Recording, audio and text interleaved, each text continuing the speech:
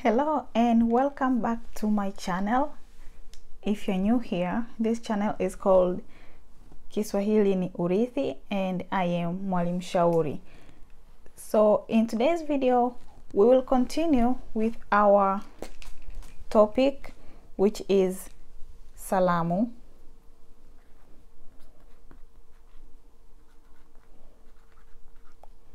au maamkio.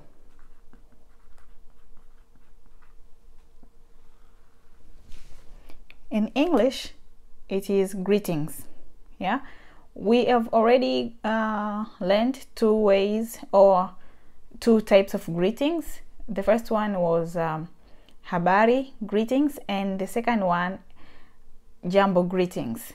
Yeah, so if you haven't watched those two videos, I recommend you to go and watch those two videos so that you can have uh, a clear path when we are learning uh, these Swahili greetings or Kiswahili greetings. In today's session, we will learn uh, other ways or other types of greetings in which we will learn how a person who is younger greeting a person who is older and uh, vice versa and uh, we'll also see uh, modification or modifications of these greetings. So this greeting is shikamo.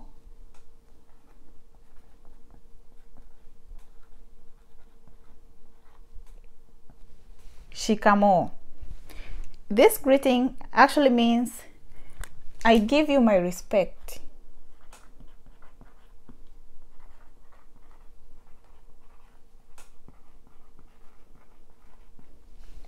I give you my respect. And the person who is older will respond by saying marahaba.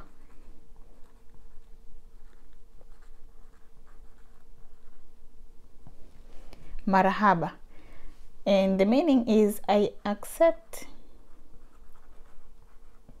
your respect.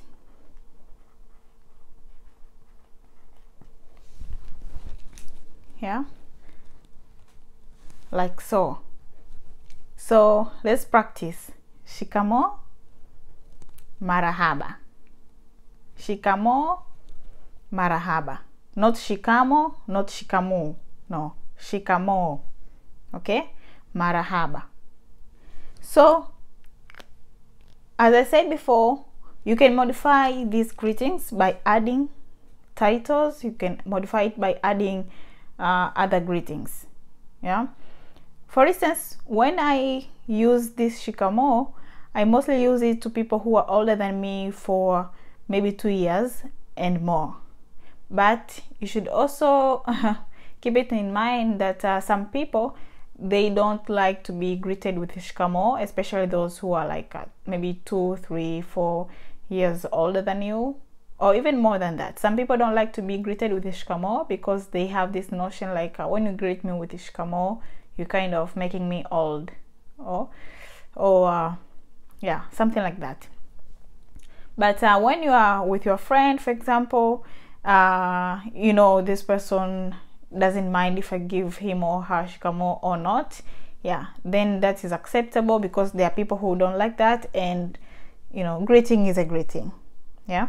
But uh, to be more uh, polite and uh, following the tradition and the cultural aspect of the language, when you're greeting someone who is older, please use shikamo. So as I said before, you can modify it. So for example, you can say uh, habari za habari za leo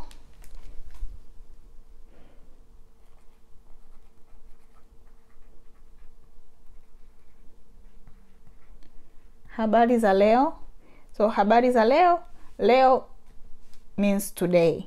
Habari za leo? So how is today? How are you today? What's the news today? Habari za leo. And as i said before if you watch other video especially the habari greetings you see how to respond to this habari by using uh, various ways. So you can say nzuri or salama or njema. Njema. Okay? Habari za leo? O habari za nyumbani? Nyumbani? Habari za nyumbani?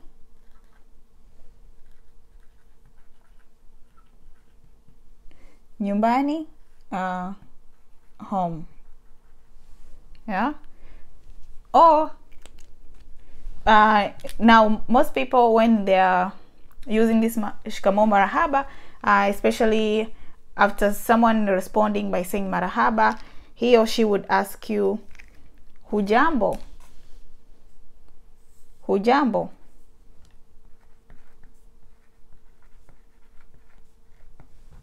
Again this is this is covered in the jambo greetings. So when you watch that uh, video you also see uh, the way of responding to jambo in which i can just write it here. Si jambo. Yeah? And so on and so forth. Yeah? So this is very important especially when you are visiting uh, tanzania because we are using it more than any other country where kiswahili is spoken. So for example in drc i met people who are from drc and when i, I greeted them with shikamo they didn't know how to respond. They even some of them didn't even know if that was a greeting yeah?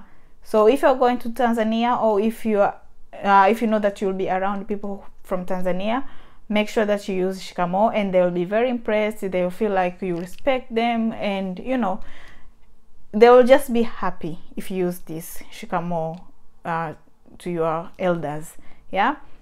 Thank you so much for watching and i am um, i please uh, ask you to kindly subscribe to my channel and uh, like this video and share it to others. Asante sana and kwaheri